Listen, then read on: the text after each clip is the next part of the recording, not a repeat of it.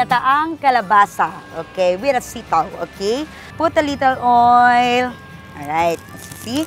Onion. Okay. Saute lang natin si onion.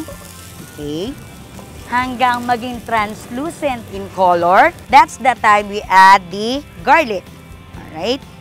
Tomatoes. Alright. Ilalagay na natin si cocoa milk. The second gata si cocoa milk. Alright? Hihintayin lang muna natin siyang mag-simmer. Lagay na natin muna si squash. Palambutin muna natin si squash. Ah, I'm going to to put the sitaw na natin, okay? Since ah, malambot na si si ating kalabasa. Alright? Okay, pwede natin ilagay si salt. Okay? And a little pepper. Okay. Okay. We can add this, okay? Or if you want this, cha a, a chop of this, pwede rin naman tayong gumamit. Okay? Malambot na siya. Ilalagay na natin si coconut cream. There.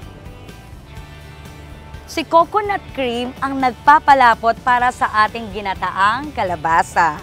So let it simmer for about um, 15 minutes. So once lumalapot na siya, lumalabas na yung kanyang kakanggata, yung kanyang oil.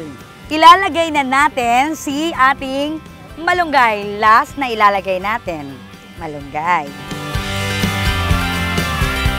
And then, this is done. Ilalagay ko siya dito sa ating um, nyog, okay? Our finished product, ginataang kalabasa.